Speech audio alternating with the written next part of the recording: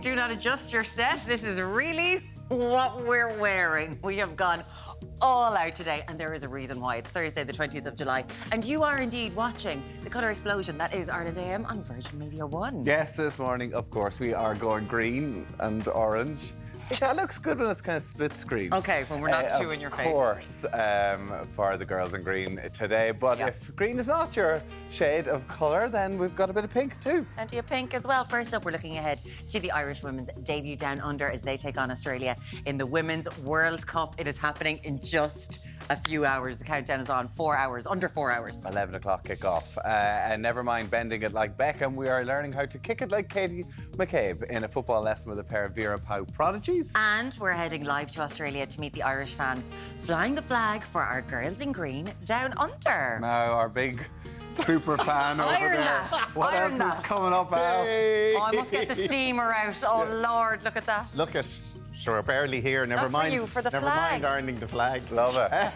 From our girls in green to the iconic women in pink, ahead of its release this weekend, we're finding out if the Barbie movie, we're in the Barbie movie. Yeah. You loved I it. I loved it. I was crying, I was laughing. Loved it. Crying at the Barbie movie. Yes. Wow. Yeah, Okay. very good. Now we're going to be finding out if it did live up to the hype, and we're in loved it, uh, with our Barbie beauty look that is simply delicious. You get it? Here we go. We're here till 10. Now, our weatherman Derek is on the road again this morning. Derek, what's, where are you and what's happening this morning? Yes, good morning. Uh, we're live here in Kimmage in Dublin 12, right across the moor. It's a showery start to the northwest, but elsewhere holding pretty decent. That mixture of light rain and bright spells to take us right across your Thursday. But as you mentioned, guys, a big day for Irish football, a big day for the girls in green taking on joint host nation Australia. Uh, the first round Group B of the FIFA Women's World Cups. We're going to be paying a visit to Lourdes Celtic FC. We're going to be having a kick around with the gang, getting a taster of the build up, the excitement ahead of the game later on, the things or later on this afternoon. So basically, uh, it's a bit of a hoolie. It's a party at 8 a.m. in the morning in Kimmage. Come down if you're in this neck of the woods. It's going to be fun. Unbelievable. Okay, that's the challenge this morning, Derek. If you are in Kimmage, keep an eye out for our roving weatherman. Great stuff, Derek. Thank you very much for football right through the show this morning. There's lots of excitement ahead of the match at 11 o'clock, but now it is time to get over to the, the Virgin Media News Hub. Here is Anne O'Donnell.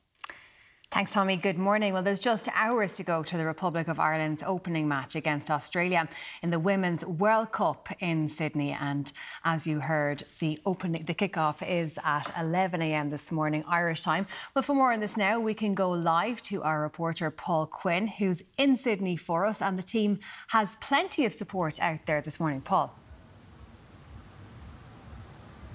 Look, and there's huge support down under for the Irish team. As you say, kick off in uh, just under four hours now. We're uh, out here at the stadium. There's a few fans starting uh, to mill around, a couple of Irish and a couple uh, Aussie fans also. Some 82,000 uh, people will be here in this stadium behind me watching the girls in green taking on uh, the Matildas at 11 a.m. Irish time. Of course, this is a historic day for Irish women's soccer, football, for Irish, for Ireland indeed. And, you know, this is Ireland, one of eight teams. Uh, First time ever in the Women's World Cup. There's 32 teams in total, 64 games over the next couple of weeks, and the opening matches here in Australia and in New Zealand. Now, as I say, 82,500 people. It's estimated that potentially up to a third of them could be uh, Irish supporters here tonight, given the amount that have travelled over from Ireland and also the number of Irish people that are living here down under. Demand for tickets has been insane. There's a number of fan zones that would have been set up across Sydney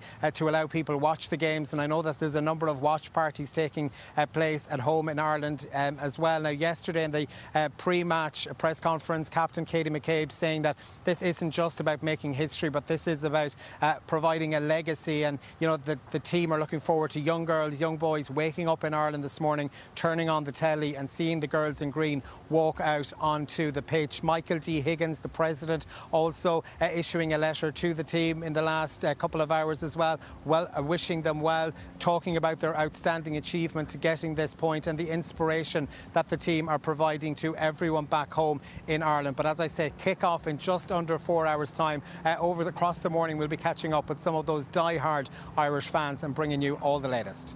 Thanks, Paul, for bringing us the latest on the build up. Well, a gunman has been ki- has killed two people at a construction site in Auckland in New Zealand as the nation prepared to host a number of games in the FIFA Women's World Cup tournament. Authorities say a police officer and four civilians were injured.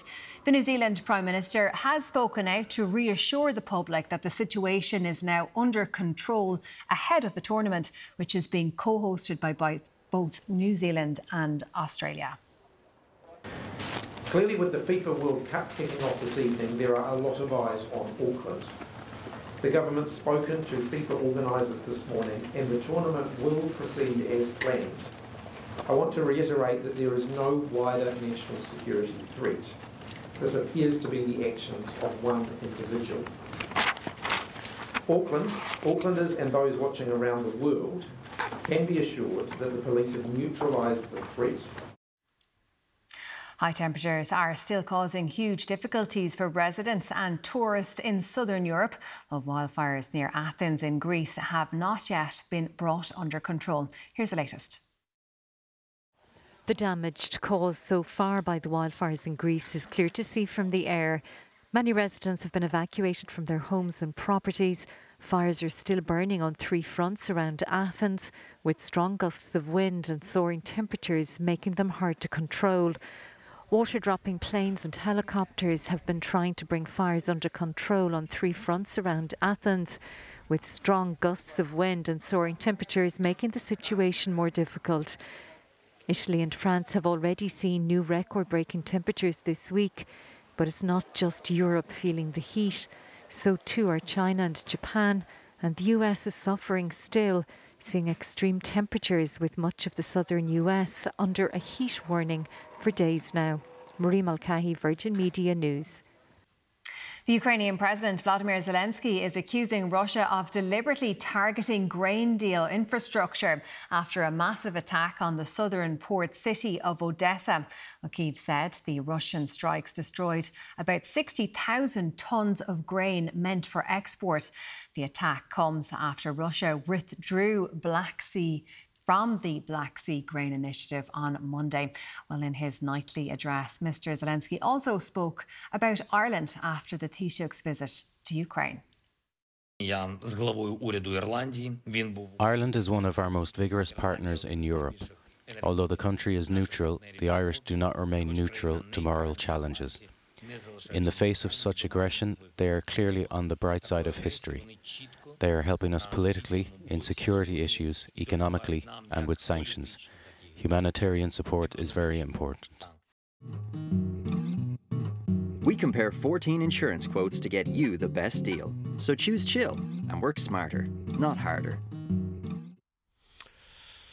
Thank you, Ger, and a very good morning. We're live here in Kimmage in Dublin 12, right across the morning. We're actually here in Sundrive Park. We're off to pay a visit to Lourdes Celtic FC, uh, all the club down here ahead of the big uh, match later on as Ireland take on Australia in the first round of the World Cup later on this morning. So lots of fun, lots of excitement on the way over the next couple of hours. Now, let's take an opening look at weather together with Conan Doyle with us on cameras this morning.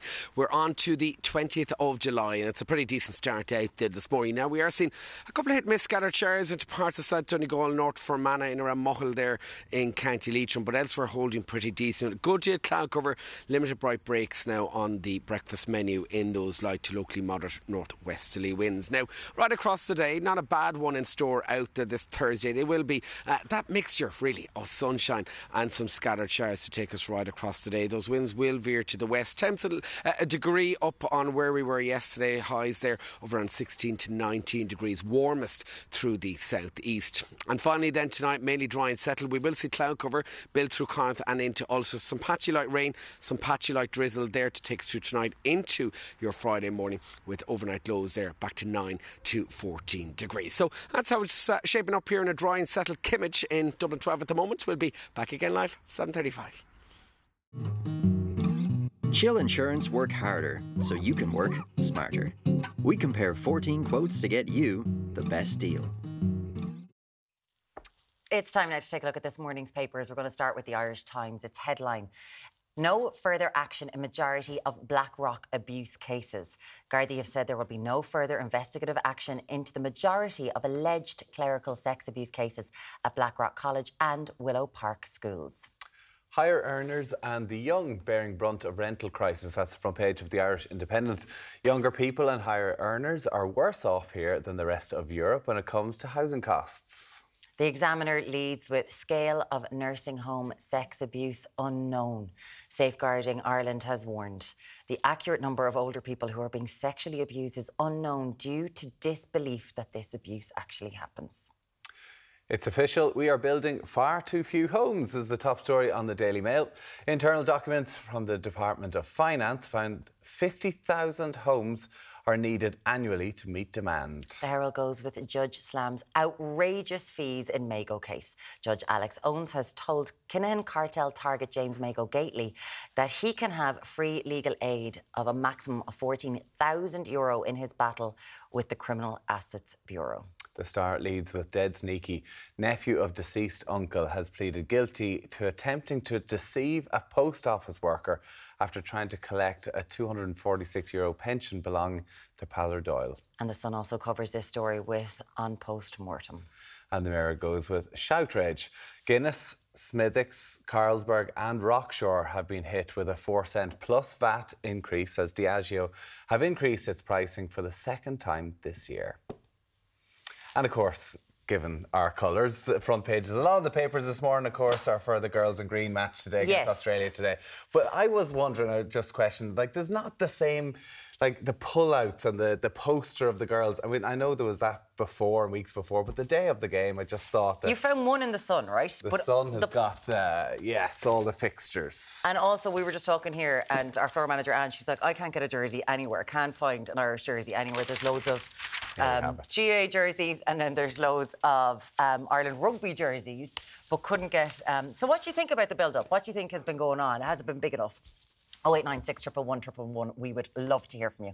Uh, still to come, we're analysing Ireland's chances, of course, uh, to go as far as they possibly can at the World Cup uh, glory ahead of their debut match against the hosts, Australia, this morning. Amazing, yeah. Okay, we're going to be talking all those things after this short break. 0896 111 111. See you later.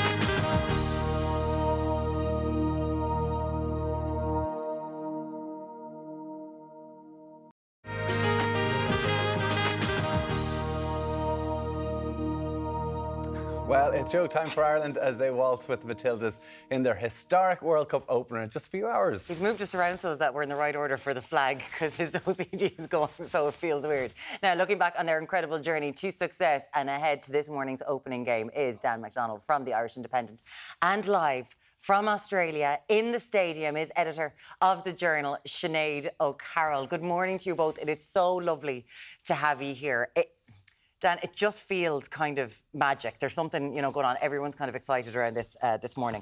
But let's talk about what this team has gone through in the last six years. Like they, you know, they didn't have kit, they didn't have changing rooms in 2017, and now they're at a World Cup. Like the development has been phenomenal. Yeah, it's surreal. Like you see the um, the footage of the team arriving into the airport, and if you think that in 2017, and maybe the nadir of that whole time was the team speaking about having to change their tracksuits in airports when they come back, you know that you know there are players in this squad who've been through that experience where they're sort of out of sight, out of mind, and to come from that point to now what 75,000 people in the stadium today, a sort of an entourage, like you know the camera crews following through the airport. That maybe, you know, uh, you know the men's team might take some of this for granted, um, but for them, I think even the profile of this team now, um, there are some new faces, but a lot of them have been around and they've been through the worst days, and now.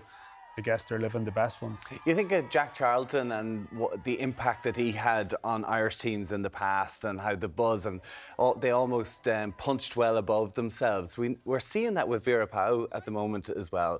How special is he? 'Cause, uh, is she? Because you know she's had her own controversies, but she's trying to put that all behind her and bring out the best in these girls. Yeah, and like you know, sometimes I think maybe in football in Ireland you need to you need to shake the going back all the time to Italia Exactly, 90 yeah. and Euro 88, and yet you can't avoid the parallels. You know, someone coming in, so a new face to the country has taken a team and made them pretty hard to beat, and they've they've made that landmark step to this tournament stage, and mm-hmm. and they're up against it. There is no doubt that they're up against it. Yeah. But in a way, they're up against it to get here, and they're just going to have to draw on the same attributes that got them here Yeah. to to stay here. So, um, and of course, yeah, we're waiting to see what the long-term impact, of course, will be too, which is the next step of it. And the next generation, and that's something that's really exciting, I think, for young footballers who are looking forward to this. But let's get to where our boots are on the ground, and that is uh, Sinead O'Carroll, who is in her very much journalistic capacity uh, right now. She's got no bias whatsoever. Sinead, what's the atmosphere like in the in the lead up to this uh, match with Australia? So Australians are mad about their Matildas. So like across the city in Sydney, like I came out of the train station the other day and I was just greeted with a huge big image across a glass skyscraper of Mary Fowler. Um, there's lots of chat, you know, getting into cabs and everything. There's lots of chat about the World Cup. I met some guys who were going to do Barbenheimer today, and they were really disappointed that they had messed up and won't be able to watch the football tonight. Um, so yeah, there's really good vibes, but there are so many Irish around the city. Sam Kerr said yesterday in a press conference that you know she was really excited to play in a stadium where over 75,000 people would be rooting for Australia, and I was thinking. Sam did not get the message about how many Irish people are going to be in the stadium today. We're thinking there'll be probably over 25,000 Irish people uh, in Stadium Australia today. The atmosphere was already building in Sydney when I was leaving. We're we're here in the stadium now in the press room, but the atmosphere was already building in the city as I was leaving there this morning. So um, yeah, I can imagine there'll be there'll be thousands of uh, strong Irish voices by the time 8 p.m. rolls around. Uh, uh, it's mad because we moan all the time on this show about how many Irish doctors and nurses and teachers and everybody leaves to go off to Australia. But this is their chance to put the green jersey on and do Ireland people, you know, the whole country so proud and really cheer on the girls. And they are, and there's people coming for loads of reasons. So I talked to as many people as possible this morning to see why they had come. So loads of people from Melbourne and lots of soccer fans, lots of people who have followed this particular team, but loads of people who also were like, you know, I, I wanted to come and have the Irish party. And then other people who did just say they wanted to put on the jersey and support the women. Um, like one one one girl said to me, I wouldn't have paid for a flight to watch the men's, but I thought it was important that I could do it for the women. So, um, yeah, there's definitely a specific uh, audience for this team as well. Um, and this team have given a lot of themselves to that audience as well. They're really, really good to the fans, and they really are thoughtful about their legacy and about you know wanting to grow the grassroots game here and making sure that they are inspiring younger girls. Um, I met a 12 year old here who's here with her parents because her parents uh, promised that if they qualified, they could go to the World Cup. Um, and they kept the promise. So the three girls are here with their parents. And that girl used to practice after watching YouTube, YouTube clips of men playing football. And now, because she has got to know all of these women, she's able to, you know, navigate women's football. So now she watches YouTube clips of girls playing football and goes out and practices the skills she's seen there. So that's a huge uh, shift Yeah. uh, in just a few years on uh, uh, like so you know the, the girls are making Yeah. that legacy that they want to make Um, we just saw photos there um, and drone footage of, uh, I think it was Irish people who were in Australia and they Come did on, the you girls in hashtag green. Koi Gig, which they just got together and did In a shape Sydney. themselves. It's fantastic to see that. But let's talk about the actual match, Sinead, because they're opening up against the hosts. The Matildas are a phenomenal team. Uh, what does Ireland need to do today to get the best possible result? Yeah like there's two things kind of happening at once uh, this evening like there's this big moment you know huge sellout that the stadium is so vast it's sold out so and it's the- first time ireland are at a world women's world cup. So there's that moment has to happen and we really have to enjoy that and we have to you know really cherish it for what it is that historic brilliant achievement. But then the match starts and then there's going to be 90 something minutes where we have to try and keep a very attack minded australia team quiet and hopefully nick something ourselves at the end it's a really tough ask there's kind of two scenarios that play out in my mind that we do settle into it well, that we could, um, what Amber Barrett calls park the bus. They they do enjoy defending this team and they don't mind um, sitting back that little bit. Uh, so if they can do that maybe for 60 minutes and frustrate Australia, I think there is a way that we could get a draw out of this game. But Australia are so strong. They have so many good players, not just Sam Kerr, not just Mary Fowler. They've really pacey wingers.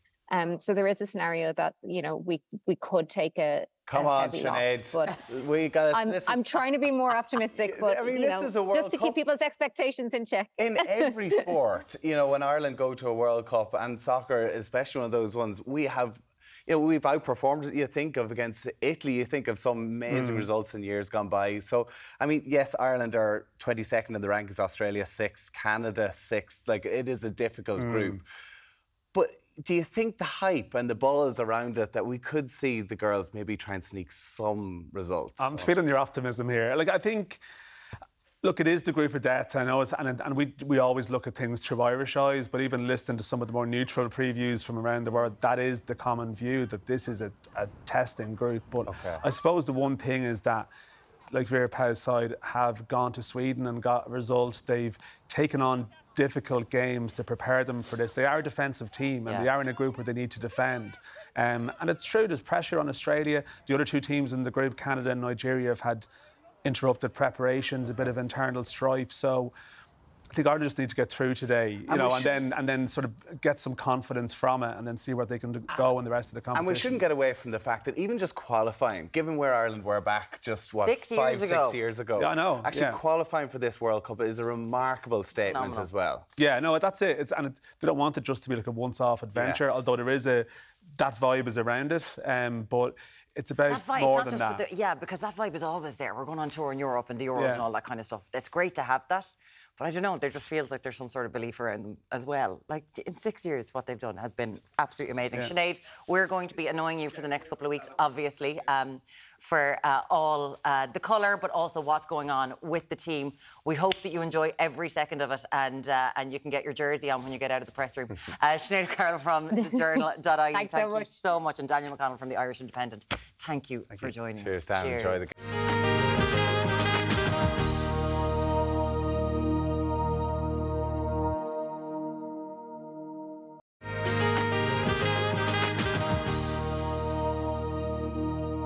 Staying with us now. It's time to take a look into this morning's headlines. And joining us now is Newstalk's Andrea Gilligan. Good morning to you, Morning. Andrea. Thanks for joining us this morning. We're going to start with those shootings in Auckland. Tell us what happened. Uh, It's three people killed, five others injured. Um, happened uh, in Auckland, New Zealand, and of course on the opening match day, Day, yeah, yeah. of the uh, the Women's Soccer World Cup in the in the city as well. They're co-hosts. Uh, the Prime Minister has been out. Chris Hipkins. He said that look, it's an it's an um, an individual isolated incident. There's no political or ideological threat. There's going to be no change to the national security um, uh, situation there. There's basically no national security risk, is, Yeah. is what he's saying, and tournament will proceed as planned. Yeah, is of course, a effectively the- country that has come through uh, terrorist ch- attacks. uh, Absolutely, in yeah, the and past. that's what was was uh, that was the fear, I suppose, Yeah. in, in the early hours of this happening, um, and that it might perhaps change plans around the, the tournament, but that's no. not going to be the case. I know. Um, uh, awful for this to Terrible. the And the perpetrator well. was under home detention, He but had he had been. an exemption to go to this They work on to it. work happened on, a construction site. site, yeah, and Um, he had he was in a position to do that through this exemption that he had. He was able to work on the construction site, but Yeah. 24 years of age and not yet identified. Absolutely horrendous Yeah. that that, uh, that that has happened. Now we're going to move closer to home. Um, for something that No I, surprises? I, I genuinely think it's like what? Yeah, we all know this. So this is about building. We're building far too home, too few homes. Andrea. Yeah, we're building too few homes. It's two different housing stories out today. It was that first one in the in the Daily um, the Daily Mail this morning, and what they have found is that we're due, according to the Housing for All blueprint, to build the plan being to build an average of about 34,000 homes across about a nine-year period. What they're saying in the Daily Mail this morning is we actually need about 50,000 per year to meet the demand. Yeah. Um, so we're we're obviously falling short. These are internal documents from the Department of Finance. that have been obtained by the Daily Mail, um, and no major surprise. We need to be building more and more and more houses. But there's obviously you know huge costs associated with that. They're rising costs in terms of inflation, the cost of materials as well. Um, but I, I don't think, as you said, Murray, that'll come as any major surprise to people that No. we need to be building more homes. No. The other interesting, I suppose, element of all of this today when we talk about home ownership and um, the appetite for home ownership here in Ireland. There's the ESRI, the Economic and Social Research Mhm. Institute. Their report is out this morning too. And what they have found is that we actually have one of the biggest gaps in Western Europe in terms of home ownership and the numbers of people in home ownership between the young and the old. Yeah. So what they found is that nearly close to about 80% of people over the age of 40 in this country own their own home, but only a third of younger people, only a third of people under the age of 40 are homeowners uh, in this country. Um, about a quarter of 25 to 34 year olds. They also revealed today in the research this like a quarter of 25 to 34 year olds in Ireland living at home. living at home with their Mm. parents. And what's interesting in this research, because normally when we talk about these figures over the past two years, we cite the pandemic and you know the COVID restrictions as being one of the reasons as to why that has changed. But actually, this research was carried out back in 2019, so it's the year that is absolutely nothing, to do with the COVID pandemic or, or with restrictions. Um, we've one of the lowest shares as well of young adults in this country under the age of 40 living outside their parental home, outside of the, the family home too. Just- so but then at the same time, we are seeing that prices, like after the day came out, a report that prices are coming down for house to buy a house now slightly. I know slightly, but then it does say here that with this that homes here are as, are, are as Yeah, affordable as in many other Western European countries. I know, and that's that is, I suppose, an element of the research, and I, I was just going to touch on that as well. Like our affordability um, issues, if you want to call it that, in this country, what the ESRI are saying today is they're actually no different to a lot of other Western Yeah, European countries, countries. and that might come as a surprise to Yeah. a lot of people. Yes, house prices are high, but our scenario, the scenario across other Western European areas Is that they're exactly the same. Yeah, same. it's not that But different to here. They're down 12% in the UK. They're down 10% in Germany. They've come down 25%, I think it is, in New Zealand. Now, they were, that's from a very high Yeah, so rate. when you're at a high high, it's- because because of everything that's obviously been happening with uh, interest rates. But there was something just that I thought was a really an, an amazing point about like it's so it's just really depressing. But there was an economist a couple of weeks ago, and his name escapes me, and he was just saying, wouldn't it be lovely if we could get the IDA to stop going out looking for foreign direct investment just for a couple of years And because we're at, we're at full employment, lads. We're at full employment. If we can just charge. if we can just hold on and stop building data centers for a while, we've got so many jobs here, and if we could move those people towards construction, like start building homes Is that realistic? for a while. But sure, there's no place for anyone to live. The other like element- the American Chamber talk all the time, going, we can't, Well, we can't 'cause set there's- up in Ireland. There's no place for anyone to live. It's also, I suppose, uh, you know, if, if it opens a broader um, conversation as well around the types of homes that we're building. And like, we're not a country that tends to build up. We don't build No. up enough at all. No, we we don't, don't. build enough, you know, apartment, we like condo houses style, here. yeah, Yeah, we like apartments our that you see houses, in, in other in other countries, and and that is a barrier to many people, and particularly if you're, you know, as one person or a single person uh, looking to buy a home, everybody appears to want the three bed semi detached with the back garden and and there's issues then obviously around land and yeah, and, and but per square foot, it's quite expensive to build an apartment in Ireland as it is. Anyway, we're going into construction costs now. Let's Well, let us that. know. Are you still living at home? Do you own your own house? Were you thinking of buying your own house and didn't buy it because you're just holding on to because well interest rates as- well at the moment. Absolutely. I think that is yeah, stopping people huge- actually making the pl- making the, Oh, the- be the to decision to down. buy a house. Yeah. Like it's it's it's unbelievable the difference in interest rates. Like ours has just jumped so much Yeah, if we so wanted to buy. Like it's gone in crazy. let us know. Uh, let's talk about the affordability in Ireland. This is a really good story. no one can go to Taylor Swift Well, because no one can afford to. They can. It's sold out. What? Are you, you're going to be waiting by your laptop all no, day. the pre-sale is starting. I Today. My, my fella woke up when I was getting up this morning, going, "Do you have the code? Do you need me to take your um your Ticketmaster um login so I can do this for you? Do you know what you have to do to get Isn't these he tickets?" very good at five Well, he o'clock in wants the morning? them. He wants the He tickets. wants to go to. Now, what is going on? How Yeah, much so- are these tickets? so- Because they're going on pre-sale today. Yeah, so uh, like this, this sale. all kicked off, I'd say, about nearly a month ago, where you had to pre-register, um, you know, to get one of the coveted emails that Yes. allowed you Yeah, to have to buy access the today ticket. to get the pre-sale tickets. Uh, I'm well aware of this because I've been in this hunt myself, and unfortunately wasn't lucky enough, Muireann, to get. Oh, did you not get No, I didn't get the pre-code access email. One of my friends did. Did so- you go to her in Reputation in Croke Park? No. See, there you go. Yeah, Then I'm like, I'm not a real fan. You're not real fans, Not a real guys. fan. Yeah. You're just None of you jumping want to on the put you hype on- now. You're Bandwagon, jumping on the absolutely. hype. When Kim Kardashian didn't like her, none of you liked her. But anyway, aside from all of that, um, I was hoping to get the tickets, like many other people, don't have the access code for today. If Yeah. you did get the email with the special access code, you have pre-sale access to purchase tickets um, for her gigs over the Friday, Saturday, Sunday. They're going to go on sale from 11 o'clock in the morning for the Friday, June 28th Yeah. show, 1 p.m. for the Saturday, and then they go on sale for th- 3 at 3 p.m. p.m. Yep. today if you want to buy tickets for Sunday. And June how much 30th. could you be paying? You will start paying. I don't know who is going to be lucky enough to get the tickets that start at 86 euro. And God knows where you'll be for 86 I- euro. Beyond the gates, general standing. um, Underneath the Aviva. Yeah, be general- in the walkway underneath. no, but the general standing tickets, were- which are, I suppose, the most common ticket that Yeah. people will Yeah. go to buy, 126 euro. If you want to stand slightly to the right or the left, uh, also in a standing ticket, you're talking about 206 euro. These Just to tickets. stand to the right or left of the, Of the front So the yeah. rest of the standing area is 120. 126 euro. I think they're incredibly expensive tickets. 206 euro. I just, I, And they're- I, I cannot. I'm not. I, Now, we yeah, do I have to say they start at 86, They but we don't know how many we don't know 86. how many 86 and where are you? I know, and you're sitting there going, do you blame Ticketmaster? Do you blame the people who are running the concert in Ireland? Or do you blame Taylor?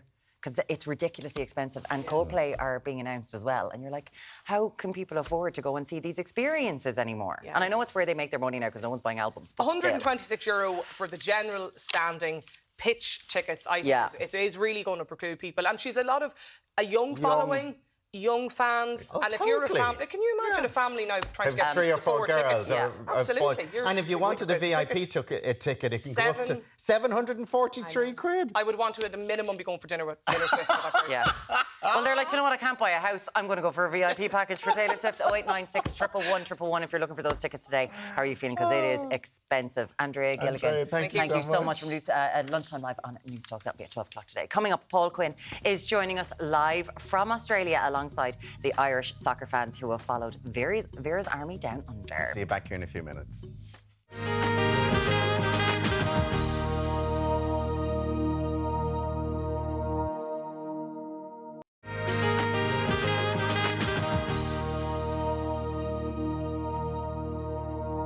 Hello, welcome back to Ireland Day, and we are hoping to connect with Paul Quinn, who is in Australia uh, with Irish fans. We can see him.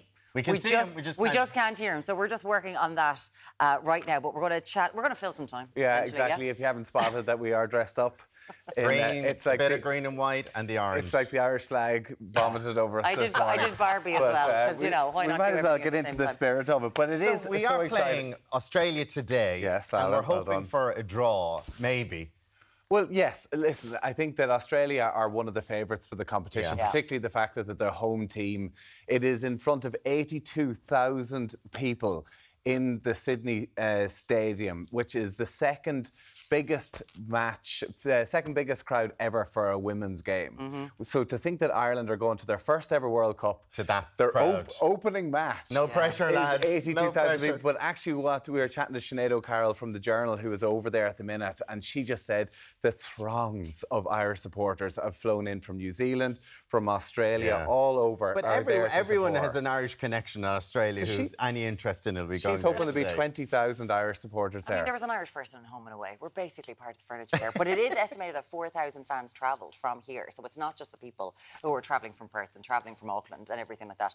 Uh, there are a huge amount of people who have gone. And what we would like you to do right now is if you're at home and if your kids have gone absolutely mad, Yes. decorated the whole Oh, place, yeah. and they're getting really excited for today, or if something's happened in your office, if you've got any pictures for us, we would love for you to send them to us. 0896 111 111. Did you dress up like this? Better Did you put dressed like us. up? Have you got the dog dressed up in the green jersey? Let us know. We'd love Oh. to see it. Now, let's get over to Sydney because we do have Paul Quinn, who is live there. there with a bunch of Irish supporters. Paul, how are we getting on? What's the atmosphere like?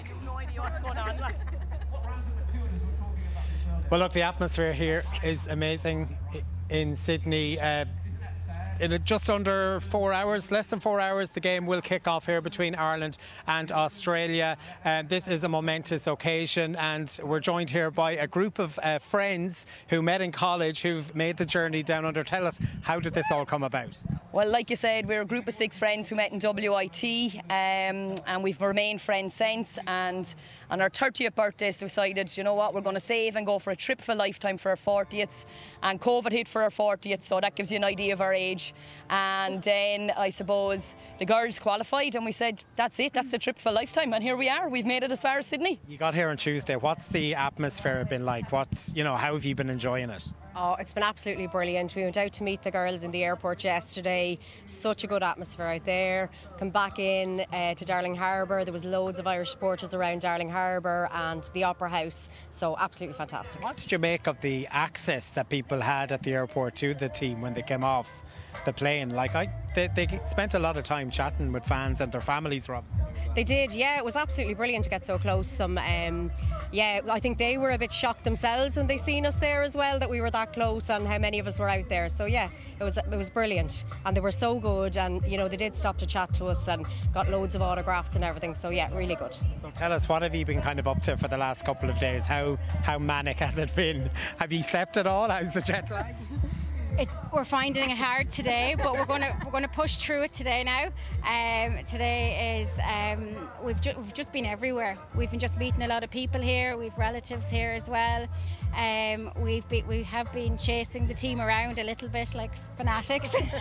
we don't get out much. We have left behind we've left behind four husbands, nine kids, and um, I just think that it's just it's just something that um, we, we decided that we had to do it, and we're all involved in soccer and, and sport. Actually, we're all involved in sport, um, quite big back home, and um, all involved in uh, soccer. We had a coach, Jenny, plays soccer still, and uh, Darmo here plays up in Brisbane. But I think um, we're all involved at home, and what's going on at home in women's soccer and girls soccer at the grassroots level is phenomenal. We probably won't realise what's the out, the impact of this until after the World Cup and what Vera and the girls have achieved. Win, lose or draw, they have got to this stage and put themselves um, out there for everyone to see. And um, we're already planning the next four years where we're going and what we're doing, girls. Because even Katie McCabe yesterday was saying, you know, it's not just about making history, that it's about a legacy. And, you know, all those young boys and girls who'll be waking up this morning, turning on their tellies, watching the game, like that's going to, like it's their Italia 90, really, isn't it? Yeah, it is absolutely right. Like my three kids play soccer uh, with Dunshaughlin Youths, and um, yeah, they love it. Um, so yeah, they'll be up this morning now watching it already. Yeah. So. tell us, it's also a very special day for you as well. It's not just not just Australia uh, taking on Ireland here. Why? explain exactly. Yeah, I got married a year ago um, to my husband now. Yeah, one year anniversary today. Um, I've sent him a picture of our flag and said happy anniversary. So yeah. What's the plans for the next couple of days, or how long are you here for? Does it all depend on the results, or? Well, we are um, here until Sunday, and um, we have hired a camper van, six of us in it, um, best friends for life, or just for this trip, we'll see. And uh, we're heading up to Brisbane. We um, it just didn't work out to go to Perth, but we'll be there. We'll be stopping off along the way. We'll have our place to be. We'll be donning the, the hats and and the flags, and we'll head up to Brisbane and we, will we'll check them out up there as well. And uh, depending on, well, look, we're, we're heading home uh, supposedly after that, but you never know. How do we think the match is going to go? What would be what would be a win here for us? Uh, look, we're all hopeful. I suppose all the hearts would say we'd love, love, love a win, but I don't know, maybe a draw at this. We'd take a draw maybe at this stage, but it'd be brilliant. I mean, first game, you never know in international football. It'd be brilliant if we could get get the win or get a draw. Well, kick off in a couple of hours, and then it's all to play for. Um, great excitement here. The, the, crowd is starting to build. I'm seeing a lot of yellow there for the Matildas, but no doubt that uh, sea of green is making its way here to Stadium Australia. Brilliant. Brilliant. Thank you so much, Paul. Listen, enjoy the match and congratulate or well done to everybody who was there supporting with the, yeah. the green, white, and orange on this morning. Great, they all decided to go. What an amazing first anniversary to your husband. How are you love him? I'm with love? the girls. Bye. I love it. The flag, it. though. Listen. And of course, there are so many parties happening, uh, happening across the country this morning. We'd love to see pictures of how you're showing your support for our girls in green. Yeah, so do send us messages on 0896 111 And I suppose it's important to say if you are sending photographs of your children, please do let us know in the message that you are their legal guardian, just to be on the safe side of things. Come on, you girls yeah, are great. On, We're really buzzing More after this break. We'll see you in a few minutes. Great.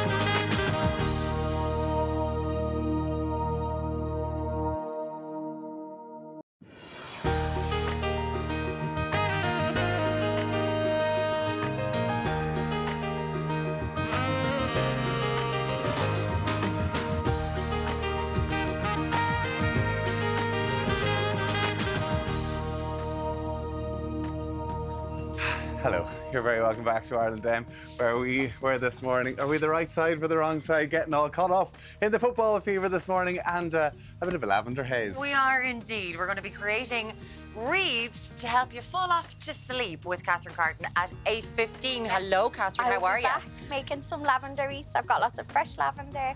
Nice and relaxing and calm here. This smells, Smells amazing. Yeah, my car smelled amazing Oh. this morning driving over. Yeah. Is this the thing that you think people could genuinely do and it's going to be lovely? Absolutely, it's really easy. You're going to have a go. I have made one. It's Can not I show perfect. people this? Because it looks Yeah. incredible.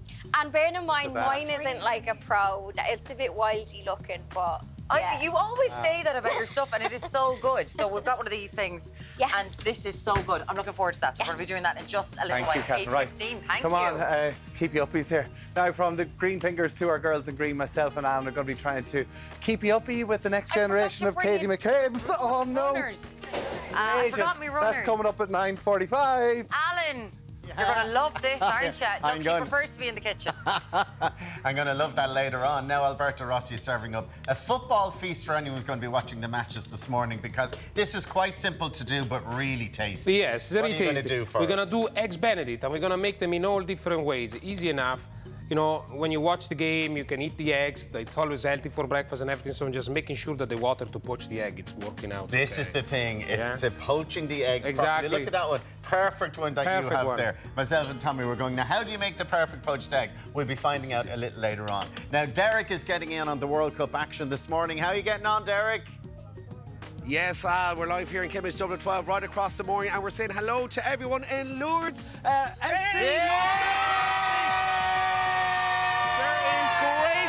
excitement building here ahead of the game later on this morning. Dave Murtha is with us, your chairman of the club. Uh, Dave, great excitement for the girls in green. It's a great day for the girls in green and, and especially for the club now that we're going to have now 70 kids in here today watching the girls play football. And this club dates back a long, long way, doesn't it? Since 1957, 66 years this year, and back about five years ago, we reignited the girls section in the club, and it's literally grown from strength to strength. And they're all excited here this morning. Who's going to win, guys?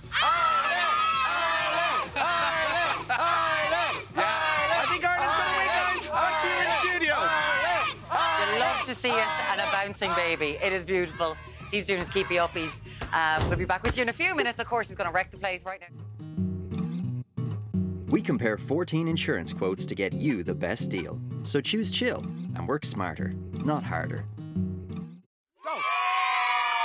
Thank you very much, sir. Welcome down here to Lourdes Celtic Football Club. We're here right across the morning. In fact, we're going to be catching up with some of the gang. We've lots of drills, lots of soccer fun as well coming your way in the build up to that big match later on this morning. Of course, Ireland taking on Australia at 11 a.m. in the first round of their campaign. Now, we're getting past 8 o'clock here together weather wise. Let's take a look at how it's shaping up. And it is a dry and settled start here in the capital at the moment. Take a look at the map, though. We are still uh, seeing some showers scrape around uh, through parts of the northwest and across South Donegal, through Fermanagh and into northern parts of Leitrim. But elsewhere, pretty decent now as we edge our way through your breakfast time in those moderate northwesterly winds. Now, right across today, in fact, not a bad one out there today. It is that mixture of sunshine and scattered showers. Those winds will moderate as they veer to the west. And we are looking at a slightly warmer day in store, a degree up from where we were yesterday. Top valleys in and around 16 to 19 degrees.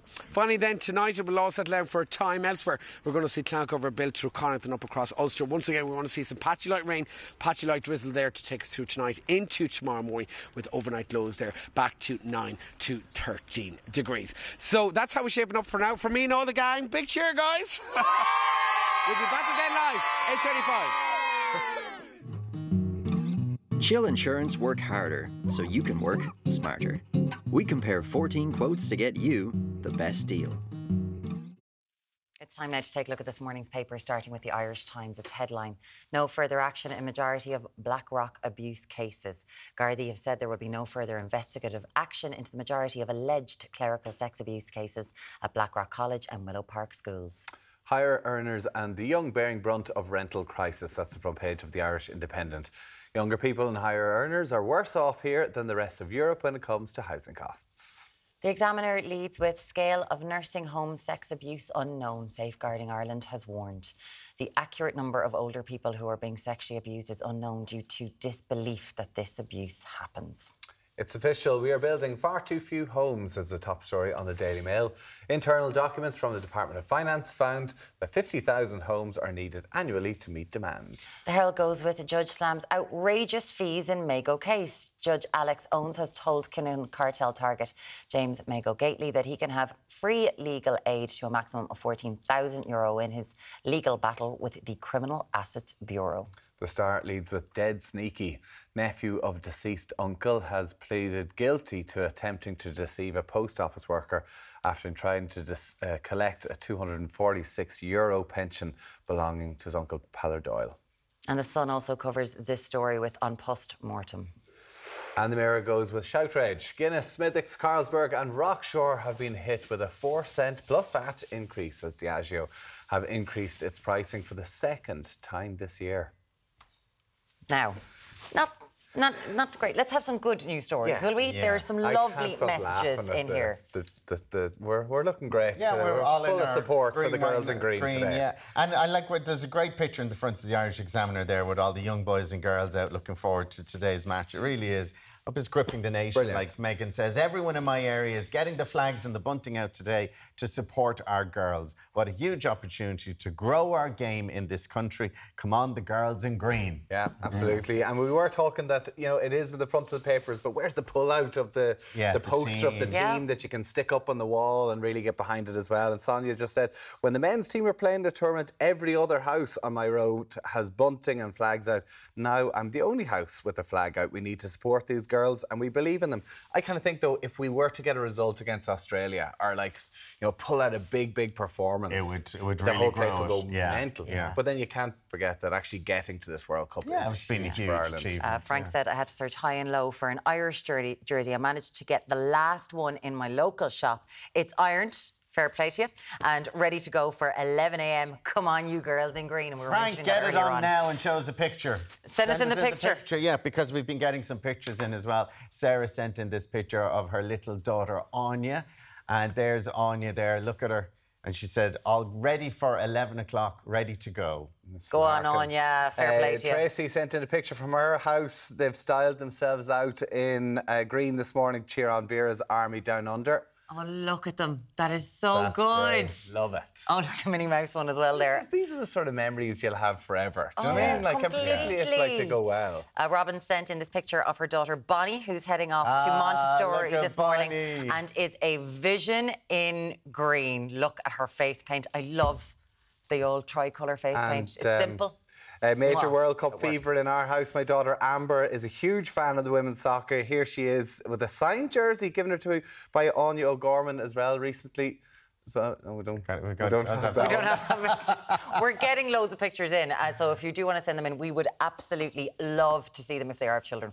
Uh, we would also like to know that you are the legal guardian, of course. It's 089 6 111 111. But you know what? It's lovely to start the excitement to see. And let us get know excited. if you're having viewing parties. Where are they going to be around the country today? Lots of people having yeah. big viewing parties. Send your pictures in. Yeah, and it's great that it's in the summer when the kids are off because they can all Yeah, take part in it. completely. And Yeah. 11 o'clock. Great Now, time. and up next, gardener uh, Catherine Carton is making a lovely lavender lullaby. A lavender lullaby with her floral wreaths. Okay, we're going to be singing lullabies, are we? We'll see you after the break.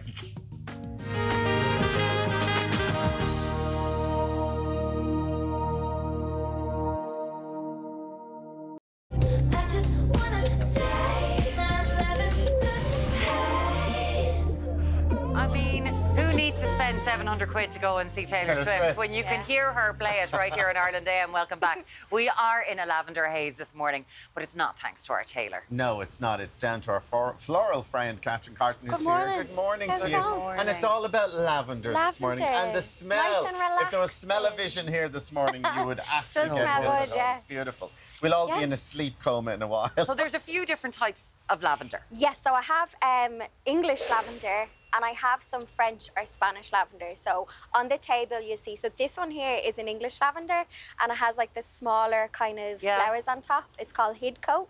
And then I have a Spanish or also known as a French lavender. So you'll see these Oh, in the look at garden yeah, centre. no, I don't. And it has Yeah, because. I bought lavender last week. I must have bought this because I It would probably know- was something something like like this. Yeah, because Yeah. I'd noticed that I haven't never seen those type of lavender. Yeah, so this is a French one. Now, if you are planting it in Ireland, the English lavender is the hardiest and it is the best one. It'll tolerate a frost.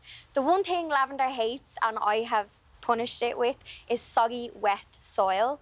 So it really likes like Mediterranean, free draining soil. So the rain of the last couple of days, if you've planted Yeah, it, is well- are they going to die? No, it'll be okay. So what I have here is I have some horticultural grit. So see that stony stuff? Yeah. If you're planting it in a pot like a terracotta pot, if you mix this in with the compost, so it's not a compost you get in the garden centre or if you have your own, if you mix this in like maybe a third of the grit, that will give you lovely kind of Drainage. Mediterranean drainage soil. And if you're planting it in a border, because you It's bought probably lavender. too late. No, I just put the compost into the pot with it. And the rain, sure, it's been lashing every day. Once you have drainage in the pot, and the a terracotta pot is good as well, um, it, it'll be fine. And then what's the story with lavender? Is it the sort of thing that, like you said, it's hardy? So will it come yeah, back again it and again? It will come back. So the best thing to do to look after your lavender is harvest it after flowering. So this guy is from my garden. So once he stops flowering, I'll give it a cut back. Um, right back. an- Don't be afraid to cut yeah, right, right into back it. because what can happen is you can get leggy lavender, and I have an example of one you I don't want didn't leggy cut lavender, back. love. don't- I don't you want- don't want le- leggy lavender. So, Look at the this old is leg leggy. lavender now. You don't so want if that. you look at the base of that, so see the way it's gone a bit woody and a bit leggy. Ah, yeah. You can't cut back to the old me this. wood. If you cut back to the old You wood, it that? might not flower. So it looks a bit miserable. It's a bit grey. So that's a really common problem. And what causes that is people not pruning it back. Um, after it has flowered. So around Yeah. about August, September time, once they're finished flowering, like don't be afraid to go like right back. Yeah, Okay. right But back. just cut back to um, where there's uh, green growth. So if you are cutting this back, you would cut it back here. So And you can have I some ask you, if it gets leggy like that, is it gone? It's for the compost, yeah. It's Yeah. very hard to come back from leggy lavender. Leggy lavender. We learn something new every Catherine, day. always get something. When should you plant it? Um, springtime or autumn time, just to let it settle in the soil, and then it'll flower. Depending on the variety, some will start in June, So July, was I too August. late then only doing it last week? You be grand. It, do you know what? You're It'll be better next year. It'll be better next year. No, but like they were had them in the in Yeah. the garden in the garden shop. So Yeah, no, absolutely. It'll just uh, it'll settle and it'll develop roots this uh, season, and then next year it'll be nicer. Okay. Okay, so But don't forget to prune it.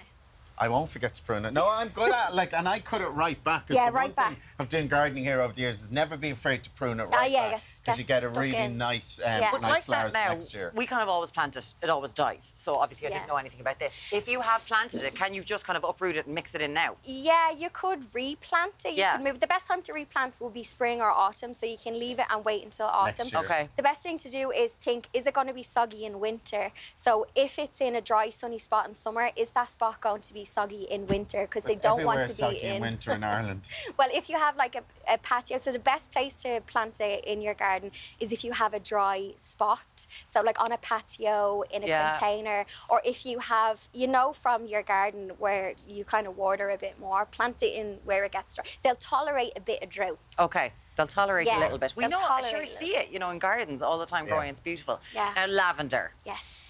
I it just smells absolutely divine. The uses of lavender. We always think lavender in sleep, right? Sleep spray. Sleep, um, but also it's it's used in a lot of cleaning products, and I have some little lavender sachets here. So all of the little bits, as you see when we're making this, the little um, seeds will fall off. Yeah. Um, but I actually made the one in your hand. I made. I didn't make the other two, and I just put some of the leftover lavender bits in a sachet, and that's a natural moth deterrent. So that's why people put it in, In their, their drawers and and their, stuff like yeah. that, yeah. I actually put it in my suitcase when I go traveling. just to Oh, kind of have, that's a great idea. It'll just to smell smell, in your nice. suitcase. Yeah, yeah, because it gets Good luck like, um, leaving with these. He's always packing a suitcase. He'll be taking those with him.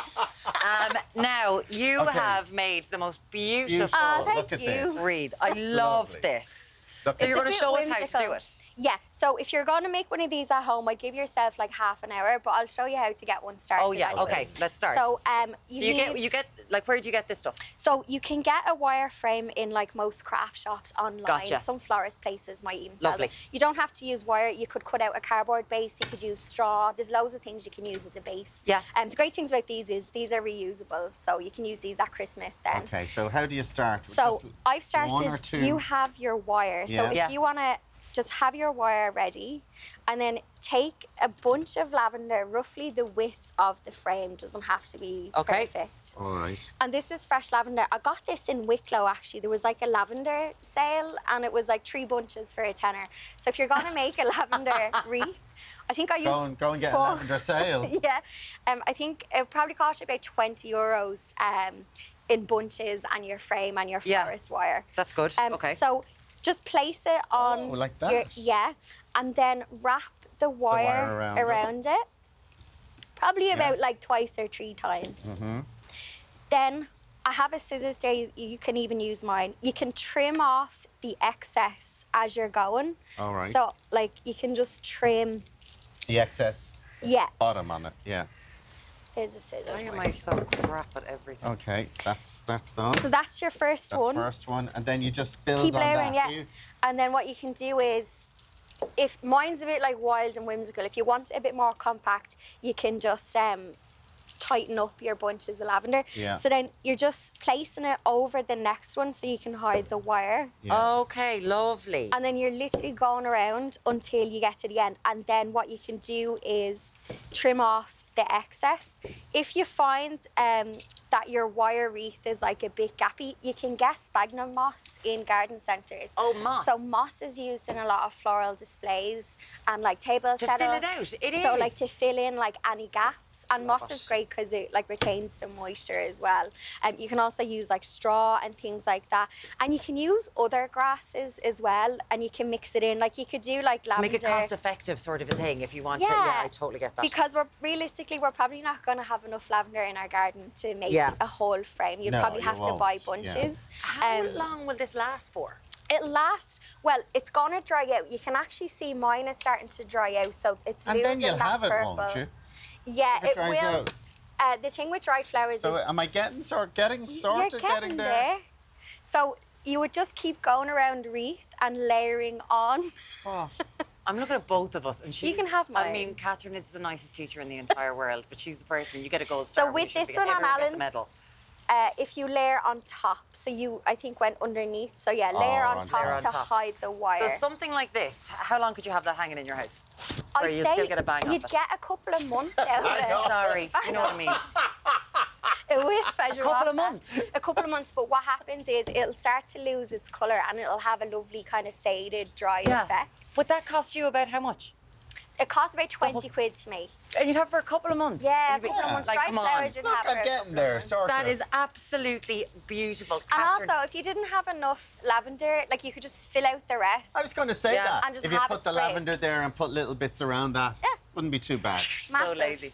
Um, where can people find you, Car- Uh, Catherine? daintydressdiaries.com. daintydressdiaries.com. As always, thank you so Lovely. much, Thanks so much. Catherine. You're so Smells good. You're so good. Sounds lovely. Now, Gold still- medal for everybody. Still, yeah. still to come this hour in Ireland AM. We're back at the net uh, with uh, a back of the net breakfast with Alberto Rossi. Yes, he's making eggs Benedict. Yes. Back at the net. Back at the net. Look at him. He's so sporty.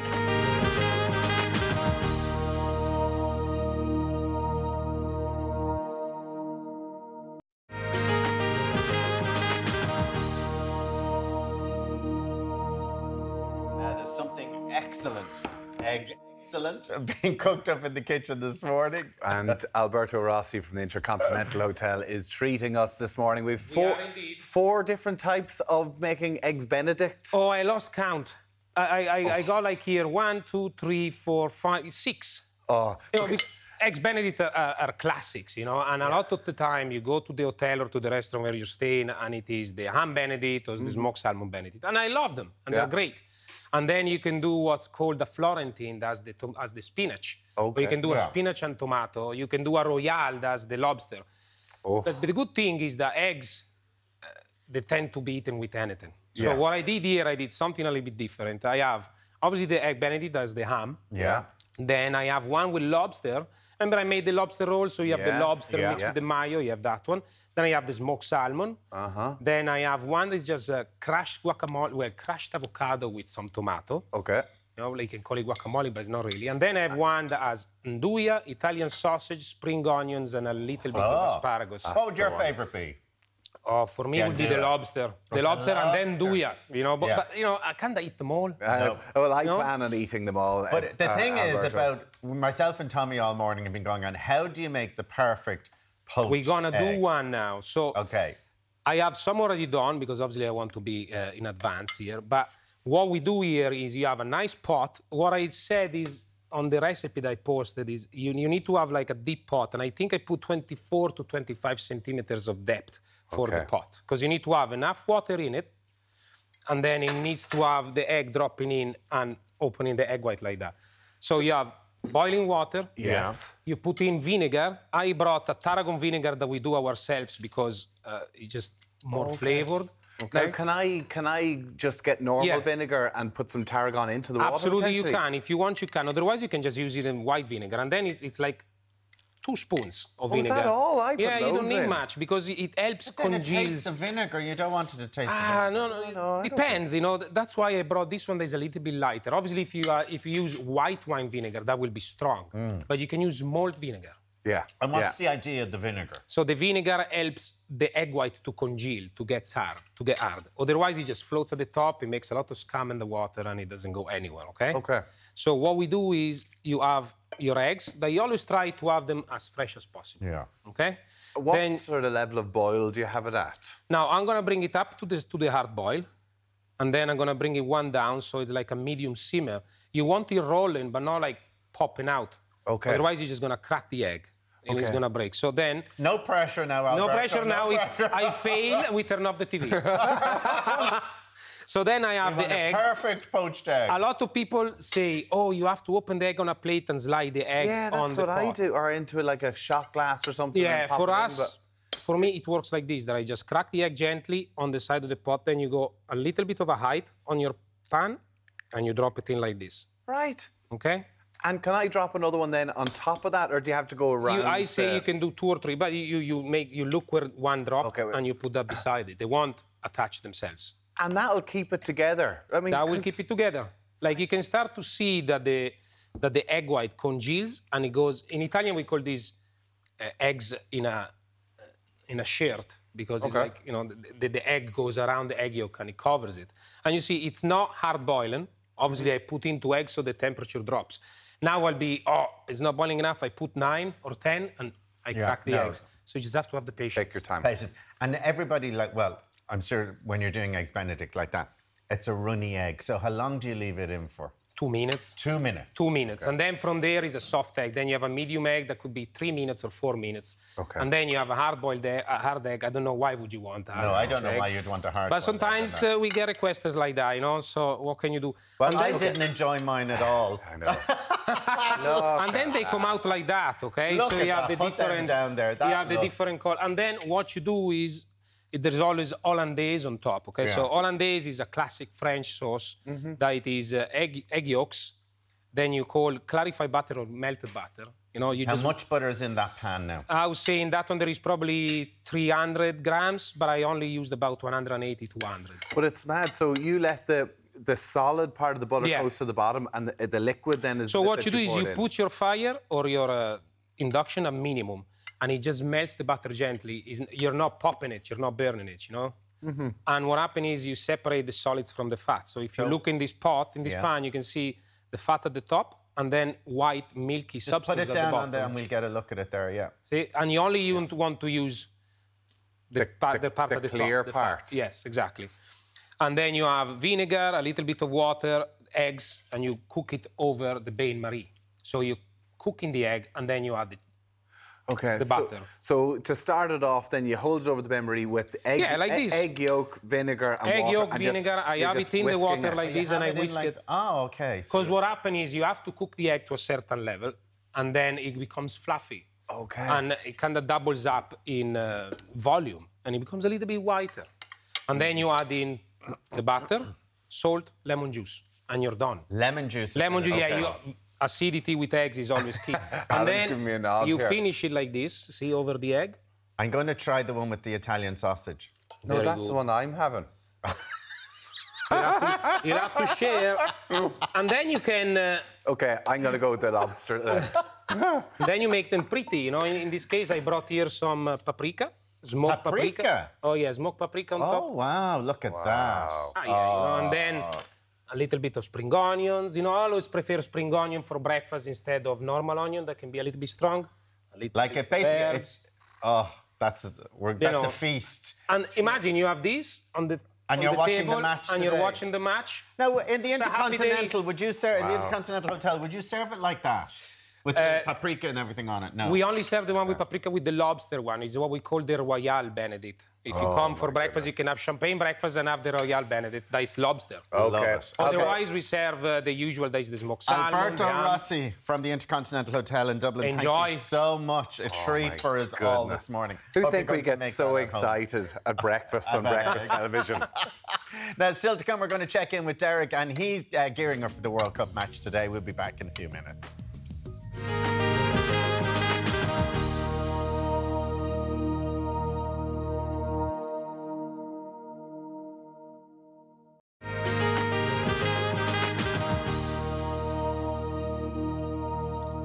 Well, the girls in green are warming up in Australia as they make their World Cup debut at 11 o'clock this morning. Can't wait. Come on. Sorry. Come on. Um, Deric Ó hArtagáin is at the heart of the football mayhem in, Kil- in Kimmage, is where he is, in Dublin. Yes, over to you, Derek. Yeah, good morning, guys. Well, we were in Kimmage. We've now moved down here to uh, Dublin, uh, Crumlin in here in Dublin 12. Great excitement building here down at Lourdes Celtic FC ahead of that big game. Ireland, of course, their first ever uh, World Cup match later on, taking on the uh, host nation, joint host nation, Australia. I'm joined now by Karen McDermott and her daughter Isabella. Karen, we're in the World Cup! Yay! Come on, Ireland! Great excitement. Absolutely. Um, it's you know it's great excitement here uh, this morning. Like we're so proud of the girls, like for getting so far. You know, and I do think they'll do really really well. Um, they're in a tough group. Um, Yeah, let's talk about that group because they're they're in a tough one, as you mentioned. They're up against uh, the joint host nation Australia, also Yeah. Canada, who are Olympic champions. Yes, and they're also up against um, Zambia as well, which Uh, is Nigeria, yeah. Nigeria, sorry, yeah, which is um, you know one of the one of the great football teams. But I think you know we've done a lot of preparation. I think the girls are up for it, and I think we'll come out good. Um, I really think they'll do well. How are we looking at team wise? I know we had an injury worrying Aoife O'Sullivan. Yeah, so Denise O'Sullivan, Denise. um, yeah, she got an injury there. She was in one of the pre-matches there um, during the week, and but I think from last night, I think she's fit now. She trained last night, so um, she's good to. She's on the team, so she'll be playing. A, a, lot of pressure on the team as well to perform because, as we mentioned, they are in a tough group. hundred percent, like, but you know, I think Vera and the girls, like, they've done, like, their preparation was amazing, and they've done the hard work now. So hopefully, it'll just pay off now when they're playing. So As I you mentioned, we had that game with Zambia. There was a, it was a good win over Zambia, a good game, and then we lost to, to France. Uh, that was a tough match for, for the girls in green. I think sometimes though you need to have these tough matches, you know, like you know, sometimes when you lose matches, like sometimes you know, and then you to regroup and get the momentum back up again. So I think, I think, look, that's just one of them things, and I think we'll move on from that. Uh, team really think- captain uh, Katie McCabe, she has rallied the troops. Listen, Kate McCabe, like she's a little trooper, like you know that way. She's, you know, I think she's a great inspiration for the, you know, the team, and I think for the girls, like you know, she's one of our own. She's from Tallaght here, and I just think like you know she'll. You know, get them going. She'll get the momentum going, and I think, I think we'll, I think we'll come out good. We'll come out good. And in fact, just to let viewers know, we actually got a text uh, from Katie McCabe about uh, 10 minutes ago uh, to wish everyone here in the club the best of luck this morning. That came into one of the mammies. And she said us, uh, best of luck, guys, and three green hearts, which, Yeah. which is great. Um, big, big Irish support down under as well in Australia. Yeah, absolutely. I mean, um, you know, the supporters, the people that have travelled, it's unbelievable. Like, you know, so they're saying that this is like um, Ireland playing at home. so, uh, 80,000, I believe, in the stadium down in Brilliant, Sydney. absolutely. Like, and it, you know, it just shows you that the women's football, you know, has really come on, and um, and especially, you know, so many people travelling. Like, and I'm just, we're just so proud of them. So. Grassroots level, this is where it all starts. Uh, you know, uh, Lourdes uh, Celtic FC. You have a great young group of people here with you. We do, yeah. We have teams from under eight to under 15s, like, and it's unbelievable. And especially now with, you know, the latest football, you know, the more girls getting, you know, involved, they want to come down, they want to play, they can actually see their heroes, you know, oh, I can be like Kate McCabe, or I can be like Denise O'Sullivan, you know, so, and these are, you know, it's great. It's just It's great, great for, for the them to country. look up. And Isabel is here. Isabel, what age are you? Um, I'm nine. You're nine. And how long have you been playing football? I've been playing football since I was um, three, and I've been playing for six years. Six years, and you're nearly 10 now. And where do you play on the pitch? I play right wing. Okay, so you, you'll be scoring all the goals, yeah? I'm scoring all of them. Uh, scored all of them. And who's your hero? My hero's Kate McCabe. Katie McCabe, and Katie's the captain. And I believe you met Katie at one stage, didn't you? Yeah, I met her in Dunnes. Uh, you met her in Dunsby out doing your shopping, were you? At an event. no, she had an event. she had an event and you met her there. What was it like to, to hang out with Katie for the afternoon? I loved it. Never seen her before. Yeah, and, and did she have a good chat with you? Did she give you any advice? Mm, No. No, sure, but it was good to hang out with her and, and spend some time with her. Yeah. And I know you're going to do some keepy uppies in a few moments' time. You're a star of the future. Oh, Do you want to play for Ireland one day? Yeah, I want to play for Ireland and Arsenal. Oh, i- isn't that uh, Ireland and Arsenal? There you have it. Like it's incredible, really. And and they're looking at the girls down under and getting inspired. They're going to inspire a whole generation of, of young stars. Absolutely, 100%. And, you know, we've seen more people come into the club, more girls want to play football, especially since the World Cup. And, you know, it's great for the country, it's great for women's football. And I just think, like, um, you know, what the girls have done, like, this going forward is going to be, you know, it's great for the country. It's incredible, and Yeah. hopefully they get out of this group, and it's going to be like You know, Italia yeah, 90 yeah, I mean, all prep- over again. The preparations that they did, like Vera and the girls, like have done so much preparation. They put the hard work in. So now we just need a little bit of luck as well on the day. Yeah, so. absolutely. I can see the headlines now. Vera Powwow. Wow, listen, yeah, Isabel, girls, come in here because we're going to have a little bit of a keepy uppy challenge. Uh, Isabel, you're going to pick up the ball there. And so, what's what's your record, by the way? How many? You, sorry, 25. 25. All right. So, right. So, uh, bit of space there for Isabel. Are you ready? Okay.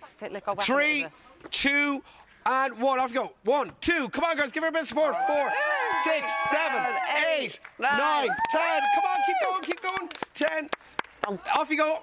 11, 12, 13, 14, 15, 16. Oh, she got 16. Give her a big round of applause. Well done. uh, there's going to be great excitement as well here later on. 11 o'clock, the, the game kicking off. Yeah, great excitement here. We've all the girls down and some of the boys as well, so we're ready to go. Come on, the girls are Okay, green! who's going to win, guys? Ireland! Ireland! Ireland! Ireland! We know who's going to win. Back to studio. Competing with a child and almost broke the glass table. Must have been about 100. Uh, oh, yeah, I think you got about 100 there. Tommy was doing quite well there. He's having a great day. He's going to break a camera at some stage. There's lots more to come on Ireland AM, and we'll see you back here very shortly. Well done.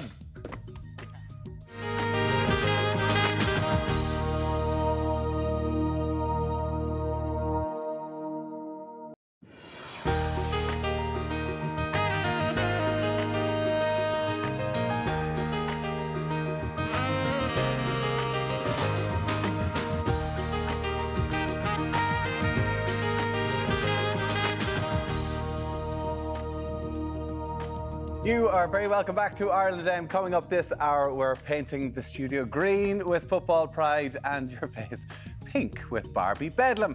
Uh, getting all dolled up this morning, quite literally, Muireann. What's coming up? Yes, we are. Keilidh Cashell is bringing the plastic, fantastic looks of the Barbie movie to life. Keilidh, it's lovely to have you here. Thank you so much for having me. What are we doing? Because Barbie has taken over, and it is obviously pink. Yes, pink everywhere. So I'm going to show you how you can take your everyday kind of smoky eye wing liner into this barbified glam. We're going to have lots of pink, lots of glowiness. Yeah. It's good, isn't it? Yeah. It's great fun. Does it suit? It suits all face shapes, colours, everything like Absolutely. that. I feel like people are afraid of colour, but I'm going to show you how to make it easy. There we go. I love it. That's going to be so good. And what else is on the way, Tomas? Beautiful, very nice. Well, this Kenny's a movie buff. He could have done with Keilidh's Barbie makeover, though, I think. Brian Lloyd, are you feeling the Kenergy this morning? I am feeling the Kenergy. Hi, Ken. Hi, Ken. Hi, Barbie. Hi, Barbie. Hi, Barbie. Hi, Barbie. Hi, we Ken. get, uh, thumbs up to Barbie. Yes, it's giving full potential. Yeah, we're just we. It's, it's Ken off. It's Ken off. I we're love it. Ken off. Okay, lovely. We're feeling the Kenergy. We're feeling the Kenergy. We are going to and be me. talking about uh, Barbie, Oppenheimer, and also The Deepest Breath, the new documentary on Netflix as well. Now, Alan's outside having a ball of a time. What else have we got? Yes, Tommy, Alan. I am. Look at the here we are, ahead of the match here today. We're going to be uh, meeting some young Katie McCall. God, I'm getting good at this. Here we go. Look at this. There we go. Yeah, we're going to be uh, meeting some mini McCabe's here this morning. That's uh, coming up at 9.45 and we're going to be uh, putting myself and Tommy to a little football challenge when we know who's going to win that one, don't we? Here we go. Let's see it. Oh, look at that. There you go. Derek. Derek's on the ball as well this morning with Football Fever. How's things going, Derek? Yes, absolutely, Al. Welcome down here to Lourdes Celtic Football Club. There is great excitement building ahead of the big match later on. Jenny, in fact, how many members have you got in the club here? Uh, um, uh, 'cause in the club, we have 600 children here within the club. How many teams then? Uh, uh, we've 35 plus teams at the moment, and we're growing from strength You're to growing strength. from strength to strength. And Robin, who, uh, who do you want to say hello to? Uh, I love Katie McKay, but I also love Tommy. Oh, you also love Tommy. Tommy, you have a big fan. Big wave to Tommy. Love it, Aw, thank you. Good Tommy. morning. Oh, how cute is that? She likes, she likes Katie McKay more. She likes Katie McKay more. She's talking about Tommy Martin. Sorry. Tommy. I'll, Sorry. t- I'll take that. I'll take High that. five, Thank you. girl. Uh, uh, yay. Go again, go again, go Good again. morning. Ready? Good morning. Oh! We compare 14 insurance quotes to get you the best deal. So choose chill and work smarter, not harder. Yes, thank you very much, Sharon. We're live here in Crumlin in Dublin 12, right across the morning. We're down here with all the gang from Lourdes Celtic Football Club. Ahead of the big match later on, Ireland taking on co host Australia in their first ever World Cup game. And best of luck to the girls in green. Now, slipping past uh, 9 o'clock here this morning, it is a gorgeous start here in Crumlin. Elsewhere, plenty of bright spells on the breakfast menu, albeit some hit and miss uh, light showers there to the northwest in those moderate northwesterly winds. Now, right across today, it's going to be that game of cat and mouse, sunshine and showers. Winds will uh, veer to the west across today. Top 10's a little bit warmer than what we've seen over the last two days as well. Uh, values in around 16 to 19. We could even reach 20 degrees in some spots. Right across then into tonight, mainly dry and settled for a time. Cloud cover building through Connacht and into Ulster. Once again, patchy light rain, patchy light drizzle on the cars. They're scoring lots of goals there behind me to take us through into tomorrow morning with overnight lows there back to around uh, 9 to 14 degrees. So that's your weather for now. We'll be back again live 9:35. Chill Insurance work harder so you can work smarter. We compare 14 quotes to get you the best deal. Welcome back. The first goal in the World Cup has happened. New Well- Zealand scored in the opening game. Their opening game. Zealand. New Zealand are 1 0 up against Norway. It happened in the 48th minute. So, first game of the Women's World Cup. There you go. Nice. Uh, I love this match. Kira can't help but feel slightly emotional watching all the build up. It must be such an exciting time for anyone who has been forced to emigrate and move to Australia. Hope the Irish community all come out and come together over there. And absolutely looks like they are. There's 20,000 they expect Irish supporters going to be in Sydney for the match at 11 o'clock. We've got Janine sent in a picture of Frankie and Billy Rose. Who are sporting their matching jerseys for the girls in green this morning? Look at that! Oh my gorgeous. God, the little cuties. them, They're, lovely. Absolutely gorgeous. Uh, Tara Kelly says she wants to give a big shout out to all the staff behind the team who've worked so hard, especially our sister Evelyn Oh, and her son Louis, who is very uh, lucky to meet the girls last year. We're all very jealous. Look at them Oh, all there. cool. The girls there, great. That's yeah. nice. Uh, Kira sent in this picture of her little girl, Sky, who's been up, we're told, since the crack of dawn, absolutely buzzing for the girls in green. Sky's currently playing on the under 10s for her local football club, which she's got Amber Barrett ambitions, we're told. Go on, Sky. Go on, She's even got the pose down ready for her love it. proper shot, doesn't she? And we've got Ava Tomas and Kayla O'D. Look at them all. They're all hopping Oh around with God. excitement. Look at the three of them. Aren't they gorgeous? And that's ahead of the match, of course, today at 11. Sitting up. Breakfast is done. I know them this morning. The twins have had their breakfast. They have. There you go. Just be happy to hear that. And major World Cup fever in Olga's house, whose daughter Amber is a huge fan of women's soccer. Here she is with her signed jersey from Áine O'Gorman, no less. Go on, you good thing, Áine. Fair play. Look at Brilliant. that. Fierce excitement. It's just excellent. Now, we listen to this. We've got two pairs of family tickets to give away to see our girls in green take on Northern Ireland uh, this September. So head over to our social media pages for all the details. This will be a Indeed. challenge. Yeah. Now, Wow. up next, it is one of the biggest box office weekends in movie history. Not hyperbole. And you know what? The weather isn't great. Perfect time to go to the cinema. Yeah, we're going to find out. Mission Impossible, Barbie, Oppenheimer. They're all there. Indiana Jones. Indiana yeah, all good. Jones yeah, we're going to find out though if Barbie and Oppenheimer are worth the hype. That's coming up after the break.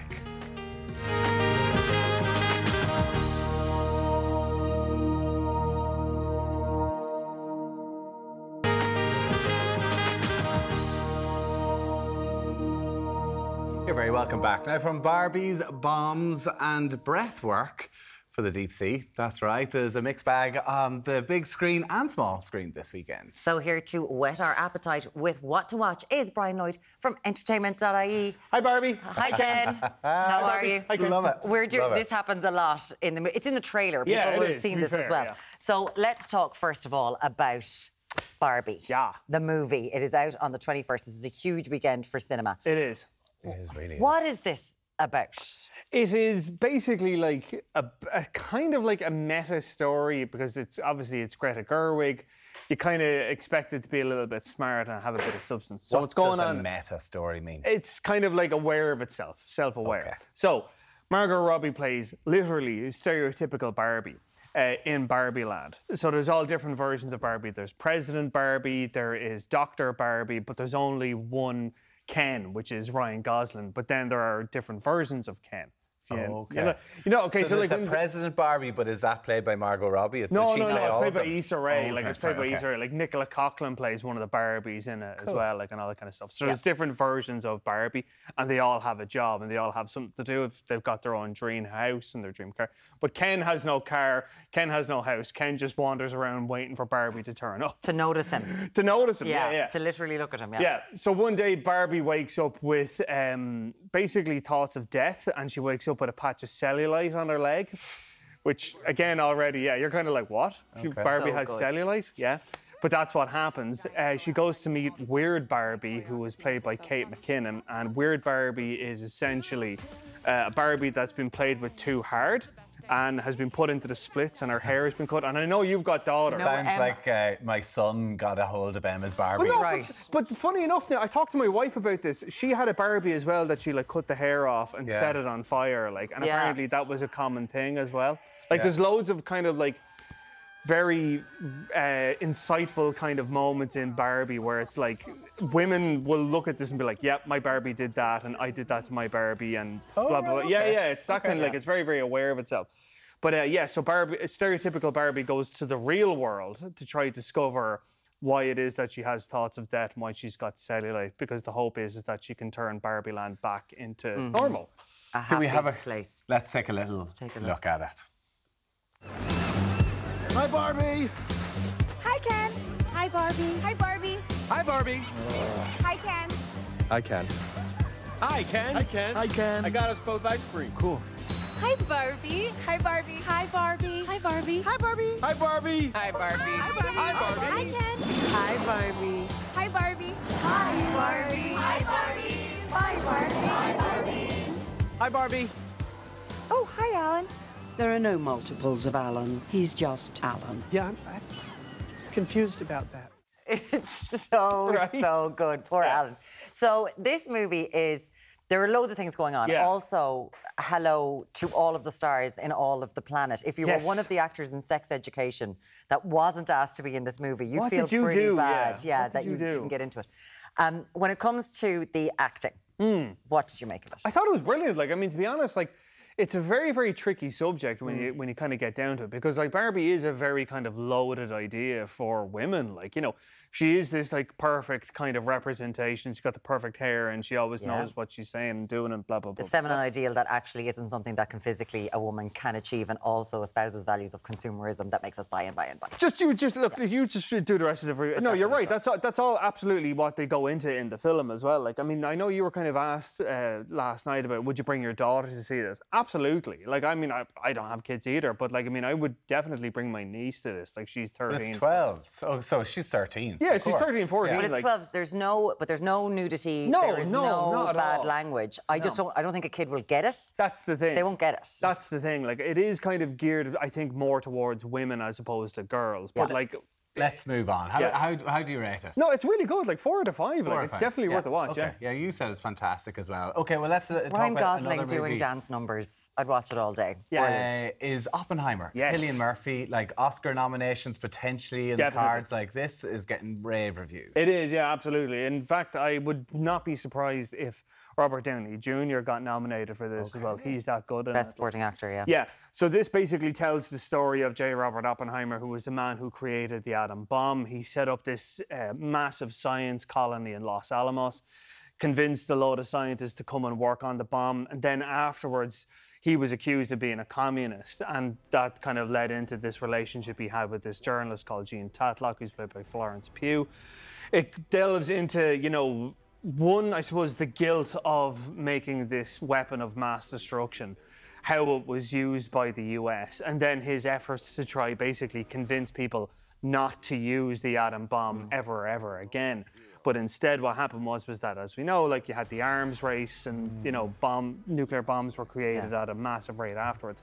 Um, Christopher Nolan, like he does tend to do this thing in a lot of his films where he'll have like three separate timelines, if you know what I mean. Love like that. Dunkirk had it, Yeah. Inception had it, Tenet had it as well, and you have it here as well because in one part of the film you're talking to Cillian Murphy's uh, Oppenheimer as he's going through this kind of um, security clearance briefing, and he's recounting the story of his life. But then um, Robert Downey Jr.'s character is in the middle of the Senate hearing, and he's trying to recount his relationship with Oppenheimer as well. Mm. So like.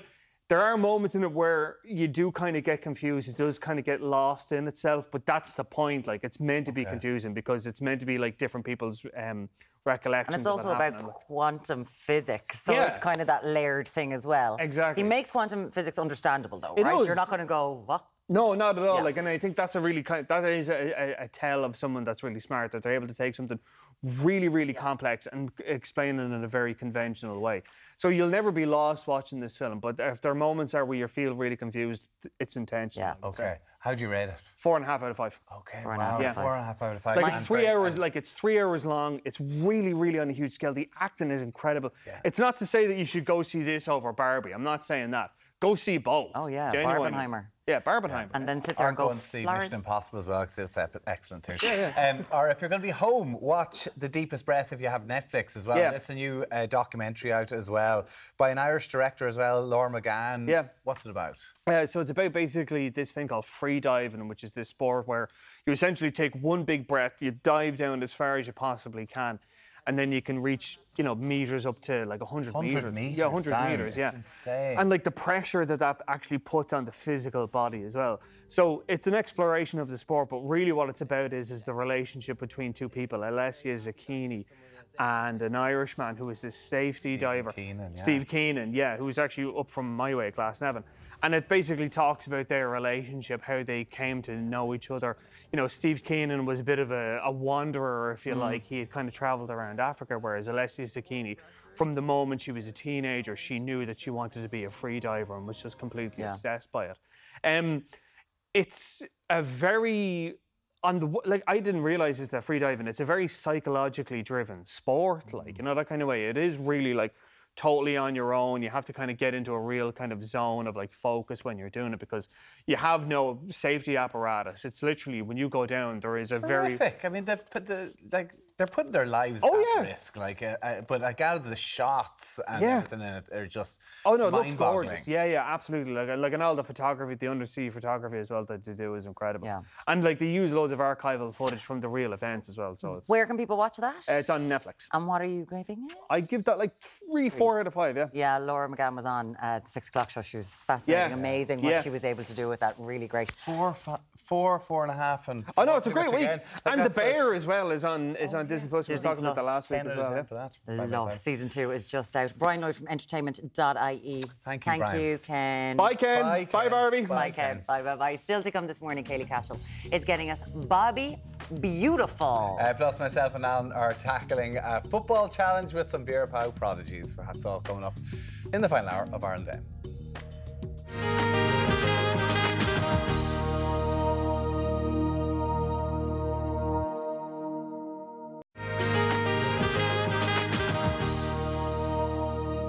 Watch me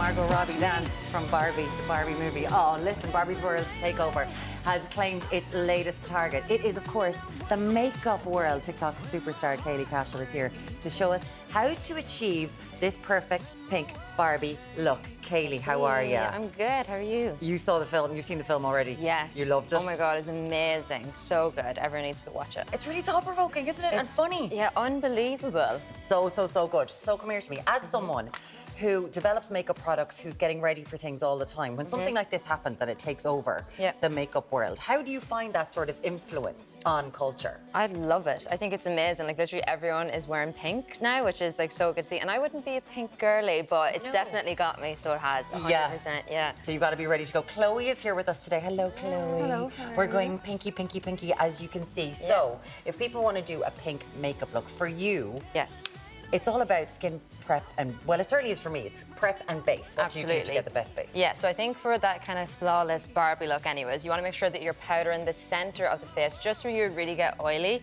Um, and make sure you don't powder the whole skin. That's what can kind of give that cake look. The more powder that you wear, the more cakey that it can look. So just kind of keep it concentrated in the center of the face where you usually get oily. And then let the natural kind of dew thing just kind of go on the outer A corners. hundred percent, exactly. And that's where you can come in with your cream products and like your blush, which is what I'm going to use today now. Perfect for the Barbie look. I'm going to be using a lot of blush because I wanted to show you guys how you can use products that you might already have and kind of incorporate it in because Yeah. I know a lot of people are going to be like, oh, I don't have any pink eyeshadow or, you know, I want to wear a bit of pink. And it's like, well, let me show you how to do it, what you got. So again, for that kind of flawless base then too, you want to make sure that you're using a cream product and then go in with your sponge and just very gently. Now, does the sponge have to be wet?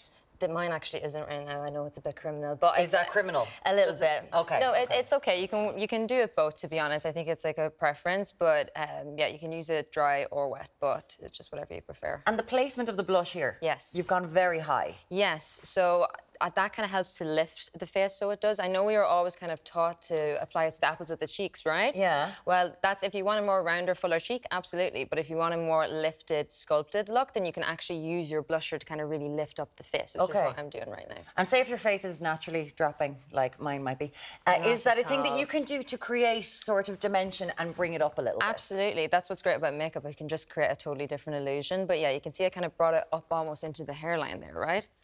Gorgeous. Look at that. That is lovely. And and the way you just too. look to the side, I swear to God, Chloe, that was fabulous. So that is, you've kind of just, you're bringing her face up. Yeah. And al- almost all the way back. All the way back, yeah. Okay, and up, yeah. gorgeous. Mhm. So this is the base. So you, as you said, you've just gone powder in the middle, then we've done blush. Yeah. What are we going to do for eye? I'm going to show you now. So this is like your basic kind of say like your smoky eye with your wing. So I'm going to show you guys how you can add a little bit of pink into it. So if you close down for me, Chloe, I'm literally going to go back in with the same blush. It actually has a little bit of shimmer in it too, so it just means that it kind of gives a glow as well. But again, you don't need to be going out and buying a million different things. You can use the blusher that you have already and just apply it to the lid. So this is going to look really well as well because it's actually tying in the blush color. So it's not like you're having a few different shades of pink, right? It's like the one tone and it kind of helps to melt everything in. And for, see, I love that now because it all makes sense, right? You're bringing the whole look together. Absolutely, yeah. I- Is that one thing that people need to realise that so many of their products Yeah. are multifunctional? They can absolutely be used for different things, 100%. And that's what's the thing about makeup, right? It's supposed to be fun. You're supposed to play with it. It wipes off at the end of the day. So don't be afraid to experiment Yeah. and use products for different things. That is really lovely. Yeah, isn't it cute? Yeah, I think that's absolutely gorgeous. And No. you're going to put a little bit of Yeah, I am going to amp it up a little Oh, bit more on, because it's? Barbie. This is the point. You could stop here, but like I said, it's Barbie. We need to go all out a little bit more. So I'm going to apply a little bit of this glitter, just the inner corner.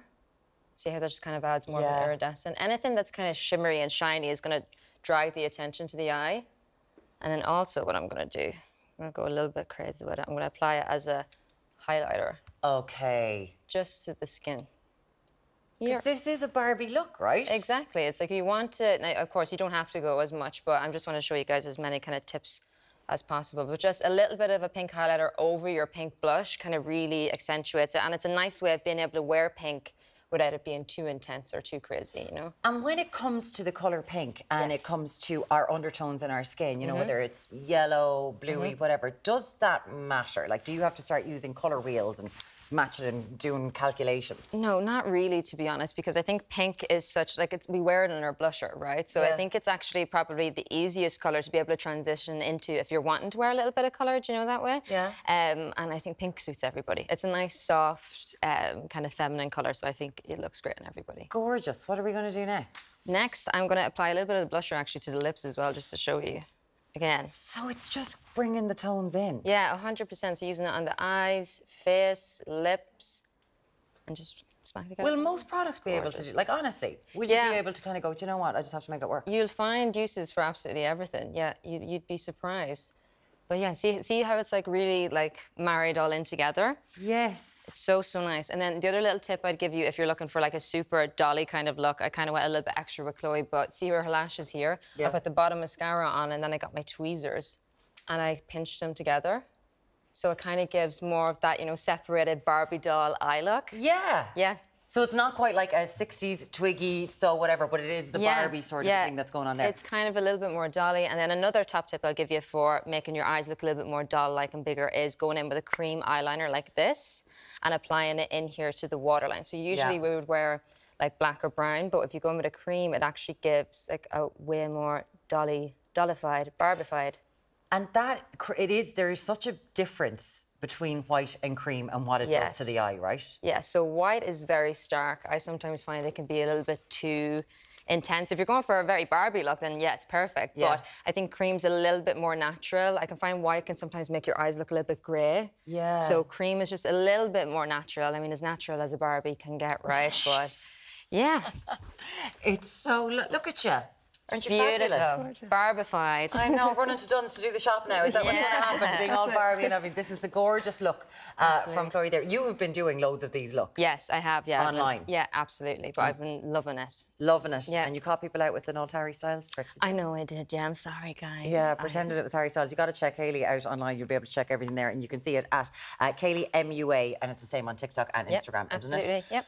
Keilidh Cashell, thank you so Thanks much, so much for, for coming in. It's lovely to have you here. And uh, you didn't get your hands on the lads yet. We have to see if we can get One day, some I'll get lush. them. Um, up next, Alan and Tommy, they are putting their football prowess to test alongside the football stars of the future. We'll see you back here very shortly.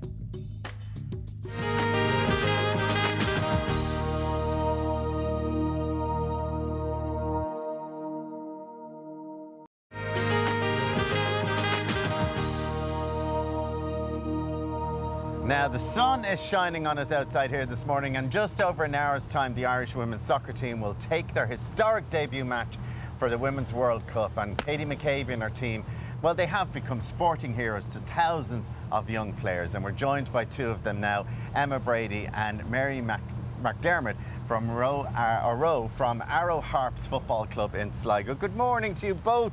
Are you- Morning, girls. The excitement building, are you excited today? Yes. And the excitement has been brilliant. I've been looking forward to it. So tell us, how long have you been playing with the team? Oh, well, I joined at the end of last season, but I was playing with the lads, like on our home club for the last two years. And was there no girls' team there? No. No. And so did you start going, we need a girls' team? Well, there was no one really to join, but like we just moved to the next team, which is our heart. So you know, And Yeah. what's what's the interest with all your friends involved in Arrow Harps, Mary? they just Do they love do they love playing football though? yeah, Yeah. So what positions do you play? left striker, mainly. Left striker. So, oh, the striker. So you're going to be good at our little challenge. And what about you? left back. Left back. So tell me, when you since you've seen the team and they progressed to the World Cup, have you seen an increase in young girls who want to get out and play football? Yeah, actually, kind of mainly younger ones, more in primary school, come out and want to like try and be like them. You know. Yeah. And have you a favourite player in the Irish And current who do you Irish think team? it might be? My favourite player is Amber Barrett. Amber Barrett. Oh, Amber Barrett. Katie. And Katie Taylor. Katie Taylor. Or not Katie, Katie McCabe. Another very Another very impressive uh, female sports sports nerd, person. Okay, Emma, you're going to show us how to do it here first up. Because Up you're a striker, so we have a little challenge here. So we're going to have two balls each, and we're going to see how many we get. I think you get two points for getting in the top and one in the bottom. What do you reckon? Sound. Okay, have you let's got? see. Is that your rules, Tommy? Yeah. Well, sure, why not? Making them up as we Okay, go along. here we go. Right, first one up. Oh, it's go- running away on you. It kind of is, yeah. It's a bit uneven. Okay, we've 20 Okay. seconds Oh, on the quick, we've we go. 20 seconds? Look, Okay, 20 Way seconds on the clock. Off you go. Nice. Okay, another one. Here you go. Oh, not bad, not bad. Now, Come on, Mary, try you're again. up. Go on, you've 20 seconds. Oh, what? Oh, Mary, good one. Do you want to have another go? Two feet. Oh, you're showing off. You are. Right, one more each, just so you can try and get one in. Here we go. Emma, you're up. Oh, for love, God. And here you go, Oh, this- Mary. This is only a demo to show us how to do it. We've. Oh, look at that! High five. That's brilliant. Well done, well Okay, done, Emma. Right. That was a demo. Myself and Alan's turn. So, don't you? I was. I was there earlier on, taking the ball down. Okay, Tommy so we- kicked me. oh, sorry, Okay, so- so now we have 20 seconds. So, okay, is the clock ready? 20 seconds. Tommy, your time starts now. Okay, no good. No. No. Oh, yes, that went in. No, it didn't. It did. It did not. It did. It didn't. No. Oh my goodness. yes. Oh, oh, one. Oh, yeah. Try kicking him with that one. Oh, yeah, okay, two. I kicked him once. Ah. Three. Oh, three. I think that was four. No, did you get four? Okay, we'll give Okay, you four. here we go, We'll right. Give Tommy four on that. Okay, here we go. My 20 seconds. Okay, hold on a second now. All right, we ready? My 20 seconds starts now. Oh, God, this is amazing. Oh. Ah! I was doing. Tommy! There's one behind you, Alan. Lads! Please, will you kick me? will you? There we have it. I think he got one in, did he? Oh, God Well done, almighty. Alan. there you go. You Look were, at uh, cheating. I was Ireland today, you're Australia. A big thank you, of course, to Air Max Inflatables who gave us the penalty shootout. Check them out, airmaxinflatables.com. You, Bit out of of fun. breath. Thanks, girls. Thank you so much. And the match though, is going to be great Amen, today. It Thank really you. is. Cheers.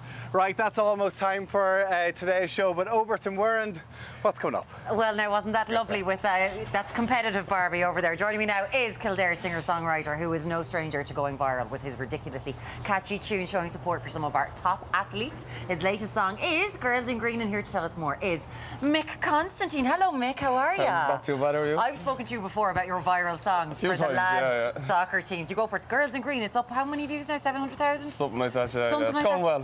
What is it with you and these viral songs for sports teams? Obsessed with it.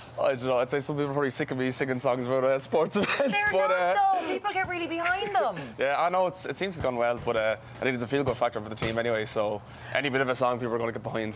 When do you? Because in all fairness, you know, Jackie's Army is something that we all have in our head Yeah, all the time. yeah. When you kind of sit there and go, right, I want to get. It is kind of to get people in the country singing and behind a team, right? It's for the joy something of like it. that, yeah, yeah, yeah. I know I just sit at home and just keep strumming and singing to myself till something kind of catchy comes out, and then How long with it. before a big sporting event? Obviously, we've known that uh, the women have been heading over to Australia for a while now. Um, I had the idea in my head for a good while, and then I don't know a couple of weeks ago I tried to give it a go, and yeah, yeah, yeah. So. A couple of weeks ago. Yeah, yeah. Sometimes it takes no time at all. Sometimes it can take a while. It can do that.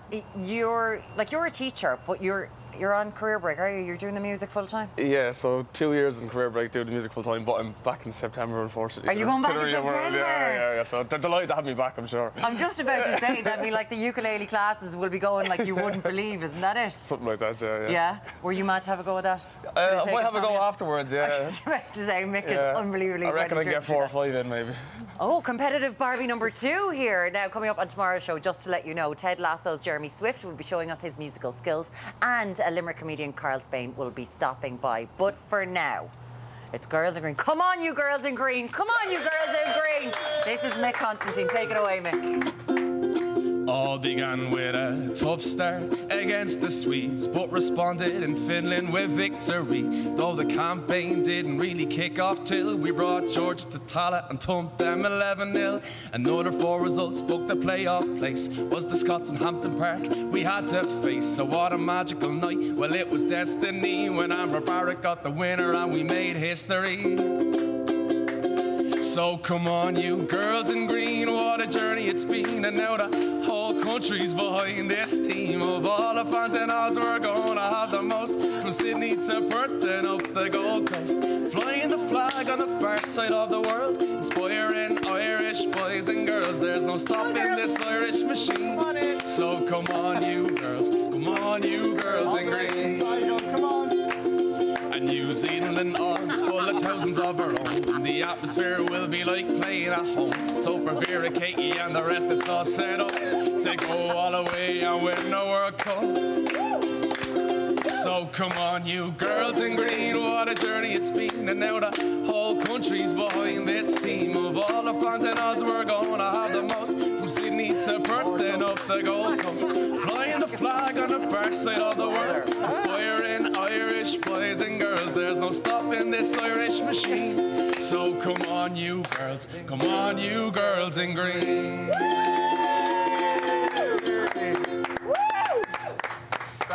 Thank you very much. Yes, of course, a massive. Come on, you girls in green, playing today in Sydney in front of 82,000 supporters, and of course, this whole nation here in Ireland is Yeah. at 100% behind them. So the kick-off is at 11 o'clock. We hope it goes fantastic. Koi Big! Come on. Come, on, you girls in green! Best of luck. Come on, See you next girls. week. Bye. See ya. Up Eva.